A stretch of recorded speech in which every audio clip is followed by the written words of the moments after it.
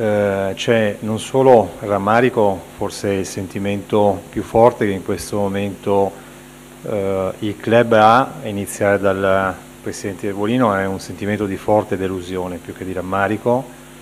forte delusione per una mancata inversione di rotta su cui non nascondo avevamo creduto molto, in particolar modo dopo la campagna acquisti di gennaio che è stata abbastanza corposa sia in termini di eh, persone che sono arrivate sia in termini economici, so che qualcuno di voi ha fatto anche delle ottime analisi nei giorni scorsi su alcune testate. Grande delusione anche eh, rispetto alla tifoseria che non ha mai lasciato eh,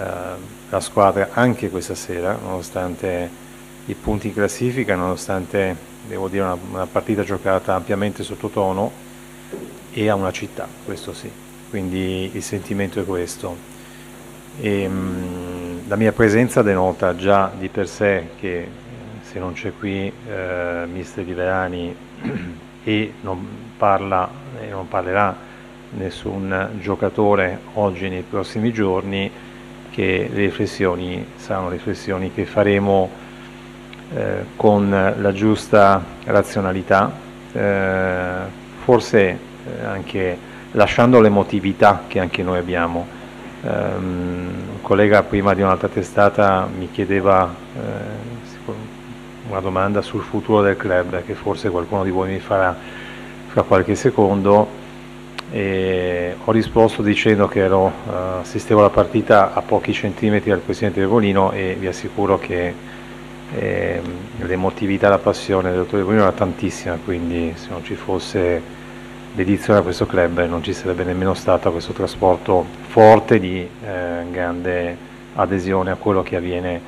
all'interno del campo e ai colori di questa maglia. C'è stato un dialogo, lei ci ha detto che cosa ha trasferito il Presidente alla squadra, eh, in realtà anche nelle scorse settimane il Presidente era andato al centro sportivo e ci dica però anche che cosa la squadra ha trasferito al Presidente, perché poi quello che, che appare e, e, non da, e, non da, subito è, è l'impressione, l'immagine di un gruppo scollato, di un gruppo che fa fatica ad essere gruppo, lo ha detto Sabatini in sede di presentazione di Liverani, lo ha detto Liverani ieri che c'è fatica a parlare con noi, che messaggio arriva dalla squadra? Eh,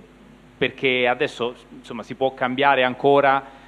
però si farà fatica a chiudere il campionato con dignità se non si mettono insieme anche eh, i cocci che probabilmente eh, fino a questo momento nessuno è riuscito a, a riparare. Grazie. Ma innanzitutto noi non ci arrendiamo mai, anche se mancassero due partite, eh, c'è sempre grande voglia di costruire e di guardare sempre in una logica positiva e propositiva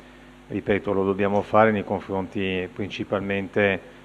di una città, di una tifoseria, anche nel rispetto di tantissimi investimenti fatti, il collega ricordava solo gli ultimi, ma insomma tanti sono stati fatti anche quest'estate.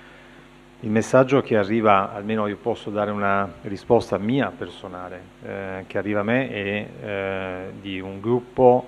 ehm, fortemente guardate, demotivato, che a fatica eh, trova una eh, motivazione, una propositività e che nonostante il terzo cambio di panchina non riesce eh, da questo punto di vista a essere gruppo. E questo ci lascia veramente molta amarezza perché i singoli, anche voi stessi lo evidenziate spesso quotidianamente dalle cronache dei vostri giornali, sono singoli che hanno caratteristiche importanti, grandi campioni o comunque eh, capitani di Under 21, adesso non voglio qui fare un excursus della rosa della Salernitana, quindi il messaggio che a me arriva è questo tipo di messaggio. Ripartiremo da questo e cercheremo di, eh, da, da questo punto di vista, cercare di trovare una chiave che sia una chiave